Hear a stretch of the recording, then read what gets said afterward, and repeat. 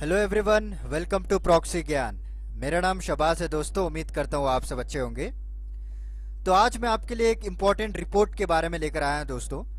तो हम एक काम करेंगे, आज से जो है एक, जो जो भी इंटरनेशनल वेबसाइट्स हैं, जैसे कि यूनाइटेड नेशंस हो गया और यूनेस्को हो गया राइट और डब्ल्यूएचओ तो उनके जो इम्पोर्टेंट रिपोर्ट्स लोग पब्लिश करते हैं डे बाई डे तो डेली इनके वेबसाइट में आपको एक न्यूली जो है रिपोर्ट्स देखने को मिलेंगे, जो कि एग्ज़ाम पॉइंट ऑफ़ व्यू से वेरी इंपॉर्टेंट है।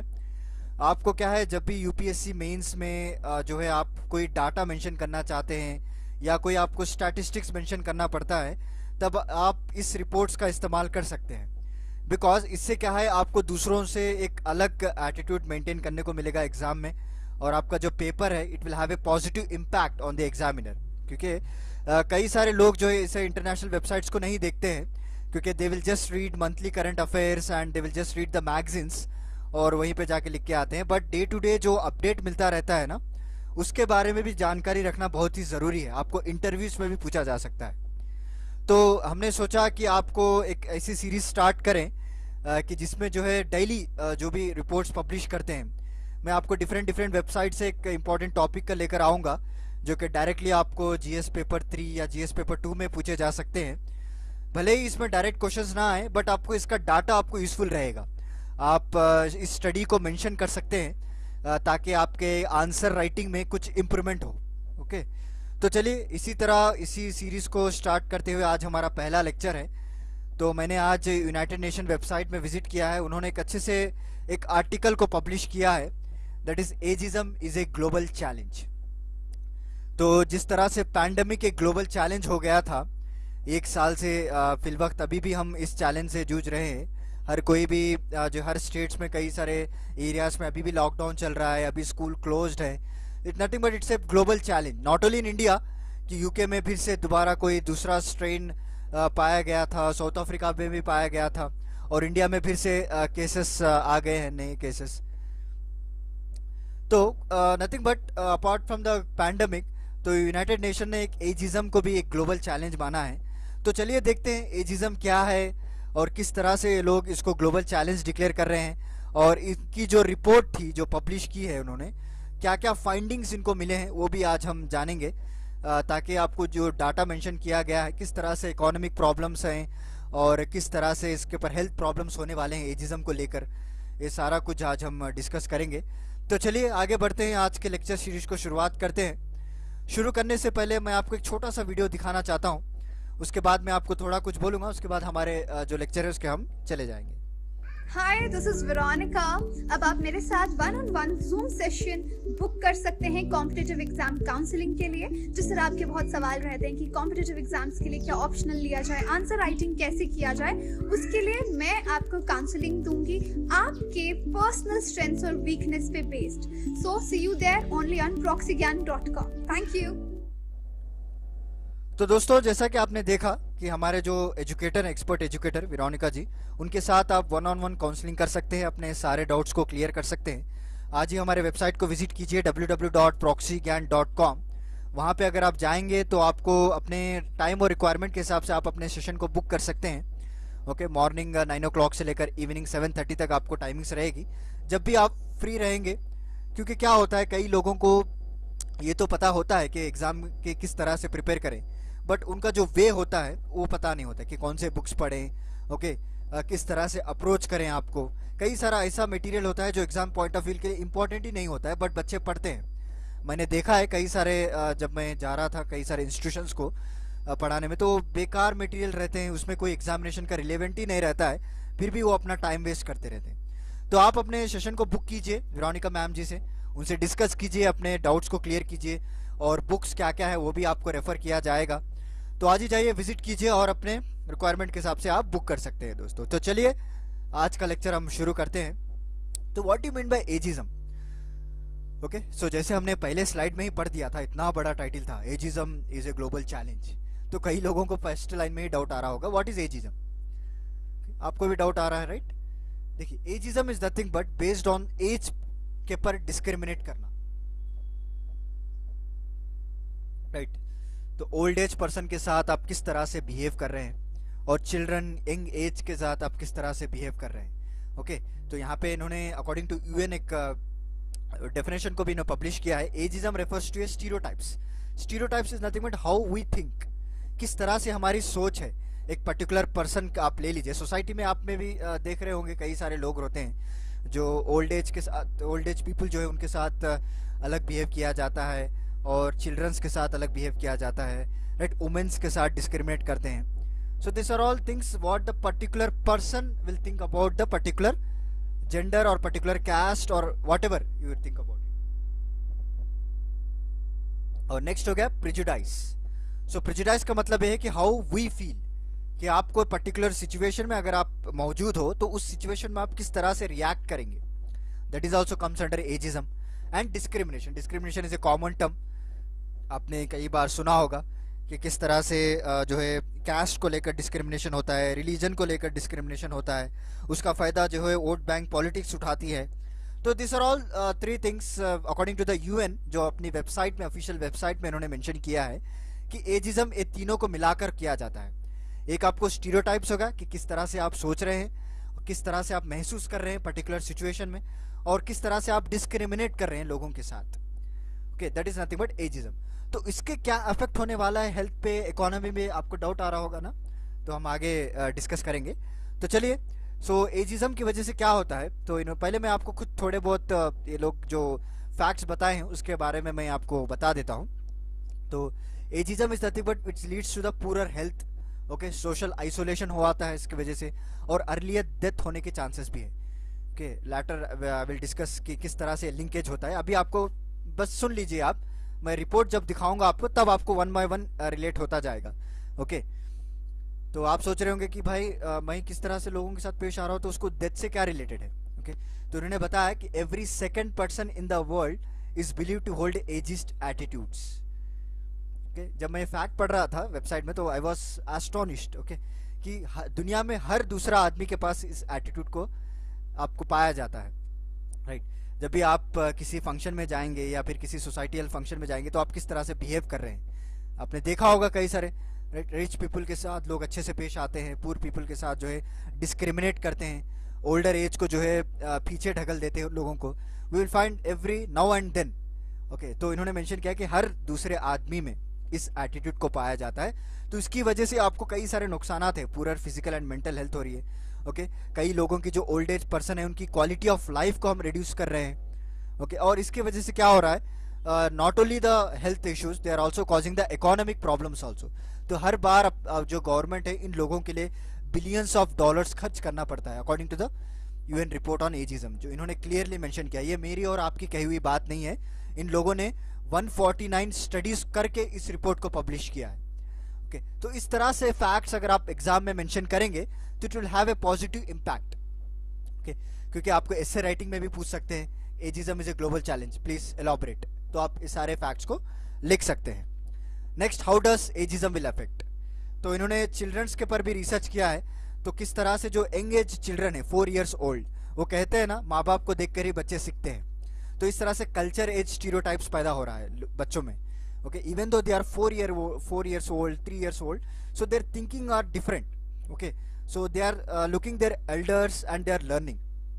So uh, so how they are behaving uh, their father and mother behaving with the old age peoples तो उसी तरह वो लोग भी कैरी आउट कर रहे हैं। अपने फीलिंग्स को अपने बिहेवियर को डिफरेंट डिफरेंट एजेस के साथ ये लोग टर्न आउट कर रहे हैं। आपने देखा होगा आजकल के जो बच्चे हैं किस तरह से लोग एक्टिव uh, रहते हैं okay so because they talk like anything with the adults वो कुछ भी बोल देते हैं उनके पास जो है एक डिसिप्लिन एक बिहेवियर ओके एक जो मासूमियत होनी चाहिए वो धीरे धीरे चली जा रही है। एक चार साल का लड़का रहता है वो बड़े बड़े बात करना शुरू कर देता है okay it will not suit the child age and all so how it will developing in the children it is nothing but culture age stereo इसको कहा जाता है। तो एजिज्म हर एक को इफ़ेक्ट करता है। दोस्तों आप धोखे में मत रहना कि बच्चों को नहीं होता है या सिर्फ़ बड़ों लोगों को होता है। Even though it affecting children also how it will affecting because they are looking their adult okay तो उनको देख कर ये सीख रहे हैं कि सेल्फ डायरेक्टेड एजिज्म इसे कहते हैं। कि उनको कोई कह, कहते नहीं है कि आप इस तरह से पेश आओ बड़े लोगों के साथ। But they learn is nothing but self learning कहते हैं ना उसको सेल्फ डायरेक्टेड एजिज्म कहा जाता है। They will also create a discrimination okay they will also create तो अगर जड़ से हम इसको बीमारी को निकाल देंगे तो बड़े होकर भी इस स्टीरियोटाइप्स को हम बदल सकते हैं। So that's why they have done a research study on childrens also clear हो गया आपको? तो चलिए आगे बढ़ते हैं। तो फाइंडिंग्स मैं आपको बता देता हूँ एक एक फाइंडिंग्स आपको बता देता हूँ। तो जैसे कि 2020 में इन्होंने रिसर्च किया था तो 149 स्टडीज़ जो मैंने आपको बताया था ना अभी तो उसका 85 percent of results have an impact directly on the health and economic problem okay so because old age people younger adult जो हैं they often feel the disadvantage in work place okay उनको, उनके साथ कई सारे डिस्क्रिमिनेट किया जा रहा है स्पेशलाइज ट्रेनिंग को लेकर एजुकेशन उनकी डिक्लाइन होती जा रही है। अब तो कोरोना की वजह से तो सारे स्कूल्स क्लोजर हो चुके हैं। वहाँ पे भी डिक्लाइन हो रहा है एजुकेशन ओके और उन्होंने बताया कि 6.3 million cases of depression can you imagine 6.3 million cases of depression are having due to the ageism okay तो एक ऐसा दबा हुआ एक हिस्सा है दोस्तों है जो लोगों में बहुत सारे लोग केयर नहीं करते हैं। बट इसके वजह से देखिए आप 6.3 मिलियन केसेस के डिप्रेशन केसेस हम, हमको देखने को मिलते हैं वर्ल्ड वाइड में।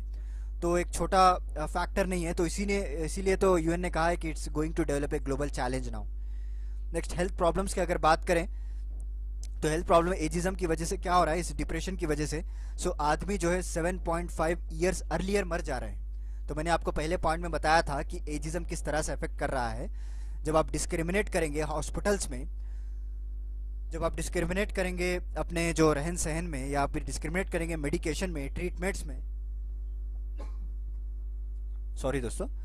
जब आप ट्रीटमेंट में मेडिकेशन में तो इस कोविड पैंडमिक की वजह से हम लोगों को पता चला कि किस तरह से बिहेव किया जा रहा है। और एजिज्म आपको हेल्थ बिहेवियर्स रिस्क जो है वो बढ़ा देता है। अनहेल्थी डाइट मिल रही है लोगों को। राइट ड्रिंकिंग वाटर प्रॉपर नहीं हो रहा है। इसकी वजह से क्वालिटी ऑफ़ लाइफ भी रिड्यूस हो रिड्यूस हो जा रही है। तो overall it will impact on the health and it is reducing by 7.5 years ये वेरी इंपॉर्टेंट डेटा है। अगर आप इस पेरे को इसी तरह लिख देंगे एग्ज़ाम में तो it will have a very positive impact okay so लोगों की मौत जो है अर्ली होना शुरू हो गई है। ओके नेक्स्ट हो गया ageism influence the health in three pathways तो इन्होंने बड़े ही खूबसूरती की तरह इस हेल्थ फैक्टर को एलाबरेट किया है कि एजिज्म किस तरह से अफेक्ट कर रहा है। पहला तो साइकोलॉजिकल ओके दूसरा हो गया बिहेवियरल बिहेव आप किस तरह से कर रहे हैं। और तीसरा हो गया physiological okay don't confuse with psychological and physiological okay this two are both different okay एक एक के बारे में मैं आपको बताता हूँ। देखिए psychological behaviour is nothing but it's creating a negative thoughts in in people okay जब कभी भी आप एक जेंडर uh, के साथ डिस्क्रिमिनेट करते हैं अपने ऑफ़िस में अपने वर्क प्लेस में या फिर ओल्ड एज पर्सन में आप मेडिकेशन को लेकर ट्रीटमेंट्स को लेकर वहाँ पे एक डिस्क्रिमिनेट uh, करते हैं you can say stereotypes okay आपकी थिंकिंग उनकी उनके uh, प्रति अलग है it will create a negative thoughts okay so it will have a psychological effect next हो गया बिहेवियर सो बिहेवियर आप किस तरह से उनके साथ पेश आ रहे हैं ओके सो उनको प्रॉपर देखा जा रहा है या नहीं? उनको प्रॉपर ट्रीटमेंट दी जा रही है या नहीं? ओके सो इसकी वजह से क्या होता है? एक सेल्फ परसेप्शन पैदा हो जाता है लोगों के बीच में कि हाँ भाई देखो, ये पर्टिकुलर जेंडर हमारे साथ इस तरह से बिहेव कर रही है। तो उनके ऊपर क्या है? वर्स हेल्थ इम्पैक्ट भी पड़ने वाला है। और physiological is nothing but so physiological it's a long term effect आप कह सकते हैं इसको। So long term effect in the sense कि अगर आप इसी तरह कंटिन्यू करते रहेंगे both that is psychological and behaviour psychological मतलब क्या? नेगेटिव थॉट्स ओके बिहेवियर मतलब उसके साथ किस तरह से आप बिहेव कर रहे हैं। अगर ये दोनों भी लॉन्ग टर्म के लिए चलता रहा तब आपको पड़ेगा साइकोलॉजिकल ओके तो उसके साथ उसके ब्रेन में नया कई सारे चेंजेस पैदा हो जाएँगे okay so tangles accumulation of plaques मतलब आ, उसके जो ब्रेन में है उसकी सोचने की जो ताकत है पॉजिटिविटी है वो कम होती चली जाएगी। So this is a major impact of health problems which is causing to to the ageism okay आपने सोचा भी नहीं होगा कि किस तरह से हम uh, जाने अनजाने में एक लोग के ऊपर इम्पैक्ट कर रहे हैं। हमारी सोसाइटी के जो लोग हैं उनके ऊपर हम हमारा बिहेवियर इम्पैक्ट कर रहा है। तो आज से आप डिसाइड कर लीजिए दोस्तों कि आप किसी के साथ जो है इस एजिज्म का फैक्टर नहीं करेंगे। ओके आप डिस्क्रिमिनेट नहीं करेंगे। ओल्ड एज पीपल के साथ चाहे वो साइकोलॉजिकल हो बिहेवियर हो या फिजिकोलॉजिकल हो उनको पॉजिटिव एनवायरनमेंट देंगे उनको पॉजिटिव थॉट्स हमेशा देते रहेंगे। Because they will have a huge impact क्योंकि आपको देखकर अपने बच्चे जो है आ, सीखने वाले हैं। आगे चलकर वो भी इस तरह से अगर फॉलो करेंगे then it will have a long term impact तो चलिए नेक्स्ट होगा इकोनॉमिक प्रॉब्लम्स तो इकोनॉमिक प्रॉब्लम्स की वजह से क्या होता है? 2020 में एक स्टडी की गई थी यूएस में। तो उन्होंने बताया इस एज स्टीरियोटाइप्स को लेकर जो नेगेटिव थॉट्स हैं और जो सेल्फ परसेप्शन जो डेवलप हो रहा है उसके वजह से ऑलमोस्ट 63 बिलियन डॉलर का खर्चा करना पड़ता है इन हेल्थ कंडीशंस के लिए। ओके हमेशा जो है यूएस सिर्फ़ यूएस की बात है ये। सो इंटायर ओल्ड की अगर बात करें तो it will very good large figures also तो यूएस में स्टडी की गई है तो उन्होंने कहा कि 63 billion dollars they have to do the excess annual cost for to overcome this kind of people for health conditions के लिए ओके तो एक एक नेगेटिव आप कह सकते हैं एक नेगेटिव फैक्ट है। तो पॉजिटिव फैक्ट की अगर बात करें तो ऑस्ट्रेलिया में एक एस्टिमेट किया गया था। इन्होंने कहा है कि five percent more people age 55 और ओल्डर वर एम्प्लॉयड तो उनके पास क्या है? कुछ पॉजिटिव इम्पैक्ट भी पड़ा है। ओके okay, तो इनकी जो इकोनॉमी है एनुअली वो 48 बिलियन डॉलर बड़ी भी है। ओके okay, जो ऑस्ट्रेलियन डॉलर है 48 बिलियन डॉलर वो उसको बढ़ाया भी गया है। जब इन्होंने एक पॉजिटिव एनवायरमेंट क्रिएट किया गया था even though the people who are working in the particular organisation are very older are very more than 55 years can you imagine even though आपको तो ये सोच रहा होगा कि आप, भाई, ये तो ओल्ड एज पीपल है, इनका प्रोडक्टिविटी कितना कम रहेगा। बट यहाँ पे देखिए उनको एनुअली 48 बिलियन डॉलर का फ़ायदा हो रहा है। किस तरह से हुआ है? They are creating the positive impact they are changing their psychological minds they are changing the behaviour towards the older age people okay तो यहाँ पे मैंने आपको एक नुकसान भी बता दिया, एक फ़ायदा भी बता दिया आपको। Okay okay? तो दिस आर ऑल न्यूट्रल लेकर हम जो है, चलना पड़ता है यूपीएससी एग्जामिनेशन में। सो किस तरह से हम कम करेंगे तो उन्होंने रिपोर्ट में क्लियरली लिखा है कि इस एजिज्म को एड्रेस करने के लिए तो एक तो आप अवेयरनेस क्रिएट कीजिए लोगों के बीच में ओके एजुकेशनल एक्टिविटीज़ को बढ़ाइए और इन्होंने ये भी कहा है कि आप जो स्टडीज़ uh, कर रहे हैं आपका जो एजुकेशन करिकुलम है वहाँ पे एक सब्जेक्ट को भी इंक्लूड किया जाए एजिज्म ओके तो एक का काम नहीं है दोस्तों तो सारे कंट्रीज़ सारे स्टेक होल्डर्स को आ, साथ में मिलना पड़ेगा। ओके अपने जो प्रेजेंट कंडीशन है, अपने अपने कंट्रीज़ की, उनका डाटा पहले कलेक्ट करें। अगर डाटा ही ना हो तो किसके पर रिसर्च करेंगे, किसके पर काम करेंगे आप? आप ही बताइए। ओके तो जब डाटा अवेलेबल रहेगा तो उसी पर आप रिसर्च करेंगे। उसको कैसा इंप्रूव किया जाएगा अवेयरनेस प्रोग्राम्स या स्कीम्स गवर्नमेंट स्कीम्स को लाया जाएगा। तो पहले यहाँ पे हमारे पास जो है लैक ऑफ़ डाटा है। Even though we are having lack of data तो इस, इतने सारे हम हमारे पास जो है फैक्ट्स है तो जब डाटा बाहर रियल डाटा निकल कर आएगा तो it will very horrible situation for us okay? तो उन्होंने इस तरह से कहा है। नेक्स्ट ये एग्ज़ाम पॉइंट ऑफ़ व्यू से वेरी इंपॉर्टेंट है दोस्तों। आपको not only UPSC SSC CGL में भी पूछ सकते हैं कि यूनाइटेड नेशन ने इस डिकेट को, यानी 2021 से लेकर 2030 तक 10 साल तक इसको डिक्लेयर किया है decade of healthy ageing okay? तो वेरी इंपॉर्टेंट आपको ईयर्स दे दिए जाएँगे। So United Nation declare which decade of healthy ageing twenty one to thirty और थर्टी वन टू फोर्टी इस तरह से आपको क्वेश्चंस दे दिए जाएँगे। Because it is also align with the ten years of sustainable development जिस तरह से आप सब लोग जानते हैं कि 17 गोल्स है हमारे एस के तो उसके अलाइनमेंट में लेकर इन्होंने इस साल को डिकेड ऑफ़ हेल्थी एजिंग को डिक्लेयर कर दिया गया तो United Nation it's an international famous organisation जब इस फैक्टर uh, को इतना जो है इंपॉर्टेंस uh, दे रहा है then you can imagine okay इन्होंने तो कंप्लीट डिकेड ही डिक्लेयर कर दिया as a decade of healthy ageing then you can imagine how this ageing problem is impacting the society तो उम्मीद करता हूँ दोस्तों आपको आज का लेक्चर पसंद आया होगा। So it's a healthy discussion आप समझ सकते हैं। ओके okay, सो so आपको जो है एग्जामिनेशन पॉइंट ऑफ़ व्यू से भी इंपॉर्टेंट है। अब यूपीएससी मेंस में इस थोड़े बहुत फैक्ट्स को आप यहाँ से लिख सकते हैं। Okay, uh, पूरी रिपोर्ट आपको पढ़ने की ज़रूरत नहीं। जो जो मैंने इंपॉर्टेंट्स आपको पॉइंट्स दिखाए हैं अभी economic problems health problems what is ageism okay बस उतना अगर आपने अपने आंसर में मेंशन किया then it will be very helpful to create a positive impact also तो चलिए फिर मिलता हूँ मैं आपको अगले लेक्चर के साथ, कुछ इंटरेस्टिंग टॉपिक के साथ। तब तक के लिए धन्यवाद दोस्तों।